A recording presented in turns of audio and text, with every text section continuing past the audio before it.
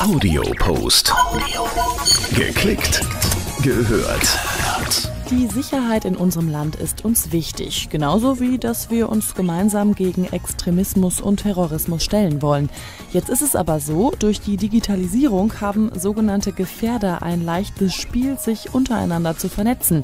Es erklärt sich also von selbst, dass der Staat vor allem digital auf die Jagd nach Verdächtigen gehen muss. Wie? Mit Überwachung.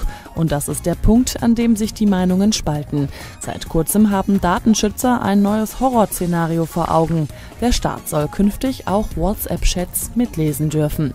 Was hinter dieser Meldung wirklich steckt und ob man sich gegen die Staatsspionage schützen könnte, das weiß Experte Andreas Wiesler.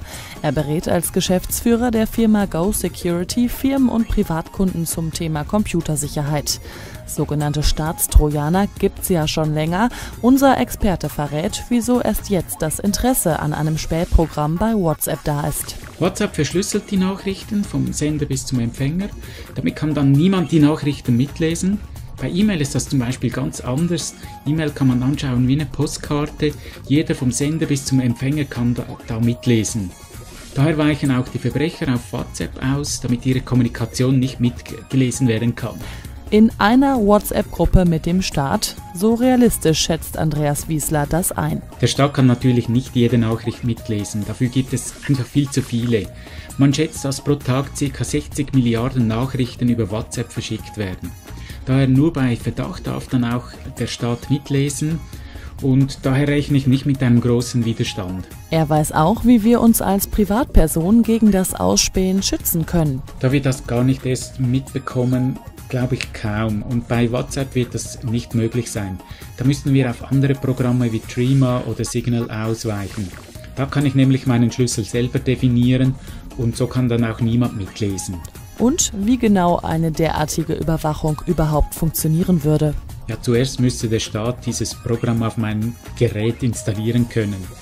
Dazu könnte beispielsweise ein Download von einer Datei missbraucht werden, doch das ist sehr, sehr aufwendig. Daher vermute ich eher, dass Schwachstellen auf meinem Gerät ausgenutzt werden und durch diese Lücke wird dann das Programm auf meinem Gerät installiert. Dass der Staat mit allen Mitteln versucht, Gefährder früh genug aufzuspüren, ist doch eine gute Sache. Wieso also kritisieren Datenschützer sowas immer wieder?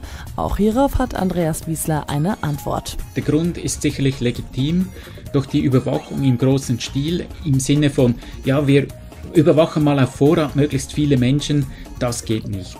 Ich erfahre ja auch nicht, ob ich überwacht werde, nur weil ich vielleicht etwas Böses in den sozialen Medien veröffentlicht habe. Und genau dies verursacht das ungute Gefühl bei den Datenschützern. Audio Post. Geklickt